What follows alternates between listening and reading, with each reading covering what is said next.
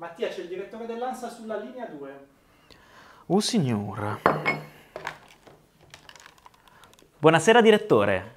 Sì, certo. Titolare l'articolo trovato ingranaggio di aereo Sciardana dell'età del ferro Olbia sarebbe assolutamente pertinente, sì. Gloria d'Atlantide anche a lei.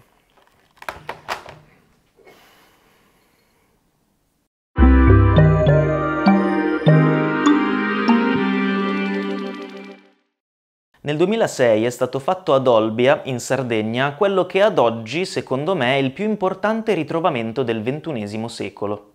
Durante uno scavo di emergenza è stato rinvenuto, in uno strato datato da diversi materiali alla metà del secondo secolo a.C., un frammento di ruota dentata in lega di rame di circa 4 cm. Evidentemente un pezzo di un meccanismo complesso.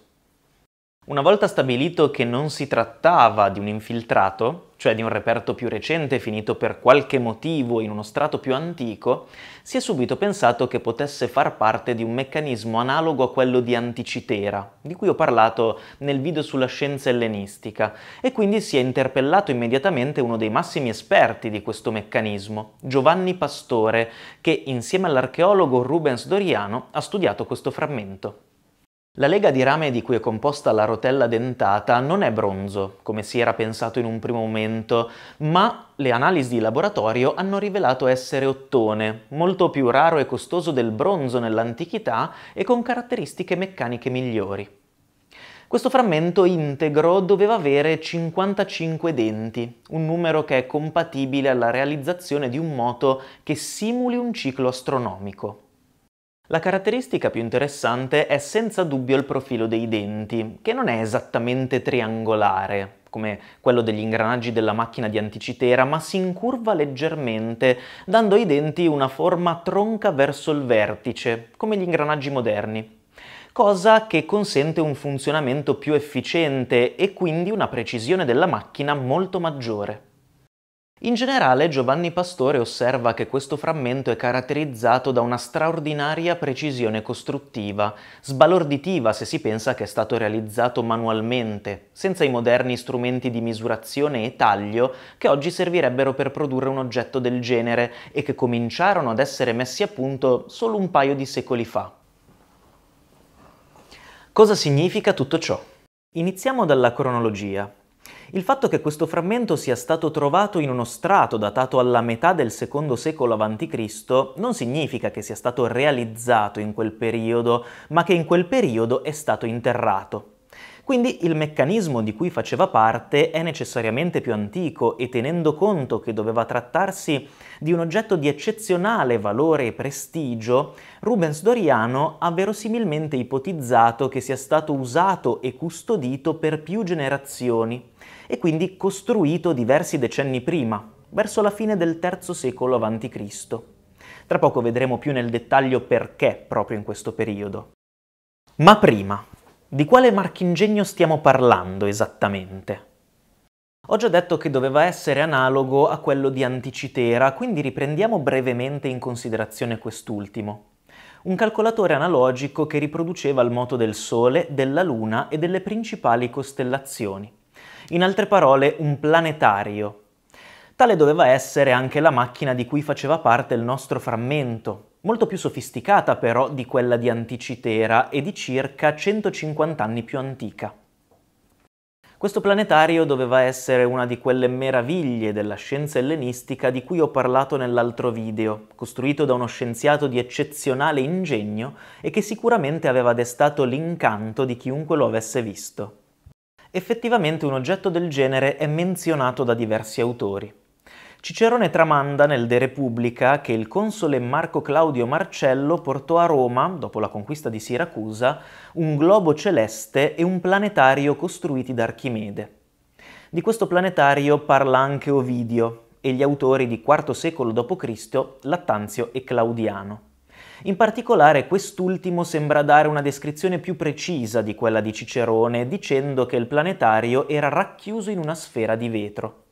E probabilmente il suo aspetto doveva essere proprio questo, visto che sappiamo che Archimede scrisse un trattato, andato perduto, intitolato Sulla costruzione della sfera, in cui esponeva i postulati che aveva applicato per la sua costruzione, appunto.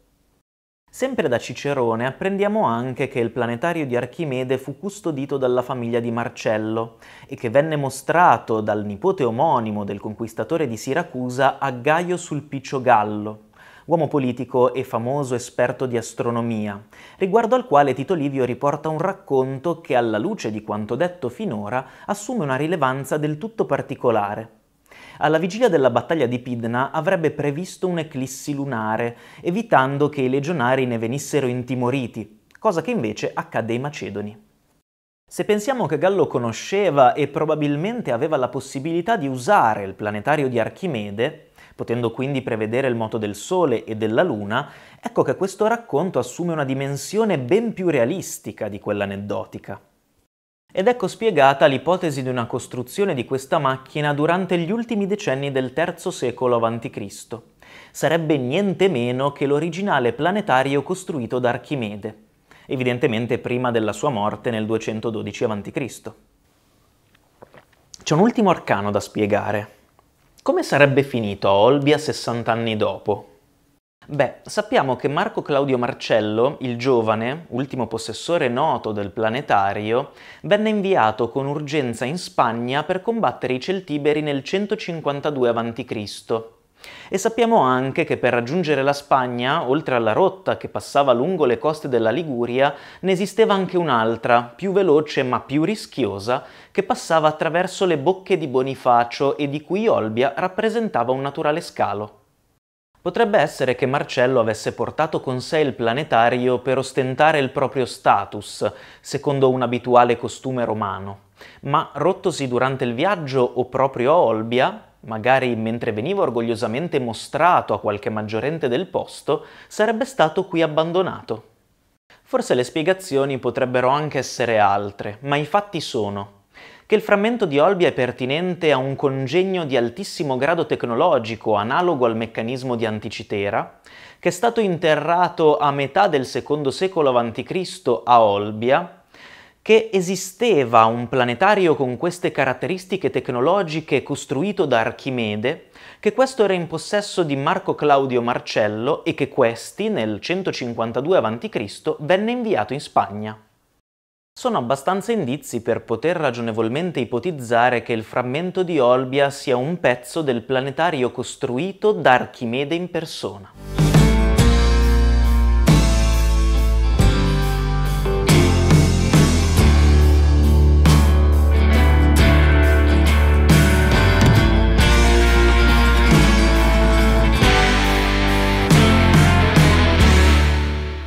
Ringrazio di cuore l'amico e archeologo, nonché scopritore del frammento di Olbia, Giuseppe Pisano, che mi ha fornito le indicazioni bibliografiche per l'articolo di Giovanni Pastore e Rubens Doriano, che costituisce la fonte di questa puntata.